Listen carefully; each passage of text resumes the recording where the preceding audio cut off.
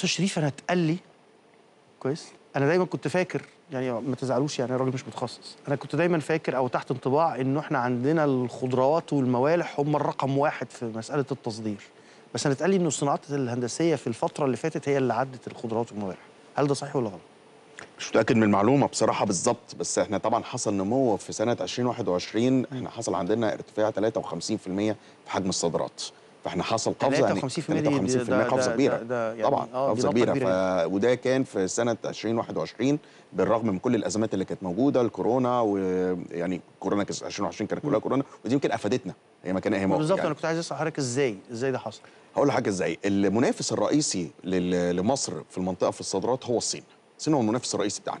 هو اللي بيخلي يمكن هو المسيطر على أغلب الدول المحيطة بينا سواء الخليج أو شمال أفريقيا أو أفريقيا نفسها ومع جنوب أوروبا اللي هو السوق الرئيسي لمصر.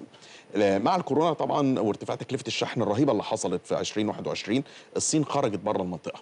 ما بقتش منافسة في المنطقة. مين البديل الجاهز إن هو يصدر؟ كان مصر. عشان كده الزيادة اللي حصلت ومش بس فقط زيادة في حجم الصادرات إحنا في منتجات ما كناش بنحلم إنها تدخل ل... ل... لأوروبا مثلا لا زادت صادراتنا لأنه ما بقتش بتوصلوا من هناك. بقتش بتوصل من زي إيه الصين مثلا؟ الشاشات التلفزيون مثلا الأواني المنزلية الأجهزة المنزلية حصل فيها طفرة جامدة لأنه الأجهزة المنزلية بتاخد حجم كبير في الكونتينرز فمع ارتفاع تكلفة الشحن اللي حصلت نتيجة الكورونا بقى مصر بقت طبعا منافسة جدا. طب إزاي تحافظ على ده؟ يعني الصين هترجع. أنت برضو يعني ما الصين دي الصين دي. المكنة الأكبر. طبعا. آه، إزاي ترجع؟ إزاي تحافظ أنت على الأرض اللي أنت قدرت تكسبها؟ من من مميزات التصدير إن أنت لما بتاخد منطقة في سوق أو بتاخد جزء من من السوق شريحة ما في شريحة. من السوق آه. بالظبط لا بتقدر تحافظ عليها لأنه خلاص الراجل بيبقى اتعود عليك. وبعد كده هو جرب سهولة الاستيراد من مصر.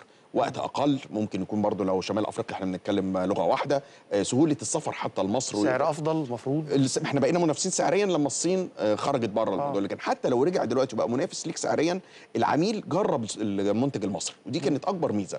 للأسف السنة دي إحنا كنا حاطين خطط طموحة جدا في 20 تا- 2022 جزء كبير جدا ما تنفذش آه، نتيجة طبعا جزء منها نتيجة ظروف خارجية زي حرب آه، روسيا وأوكرانيا والجزء الأكبر كان نتيجة نقص الدولار. ده طبيعة الصناعات الهندسية. لأن الصناعات الهندسية أنت بتعتمد على مدخلات كتير جاية من بره. بالظبط كده للأسف. إحنا عندنا من 40 ل 50% تقريبا من المكونات والمواد الخام بتستورد من الخارج. إما وفرتها أساسا إنه تلاقي حد يبعتها لك بسهولة أو ثمنها وتدبير فلوسها طبعا. دي كانت المشكلة. المشكلة من. ناحيتين على آه. المستويين. مظبوط كده بالظبط. كان نقص الدولار أثر في قدرتنا على الاستيراد وفي نفس الوقت المشاكل اللي حصلت لأنه في خامات كتير كانت بتيجي طبعا من روسيا وأوكرانيا في الصناعات الهندسية بالذات ال- المعادن وبعض الأجزاء البلاستيكية كانت بتيجي من هناك. فدي أثرت في الخطة اللي إحنا كنا حاطينها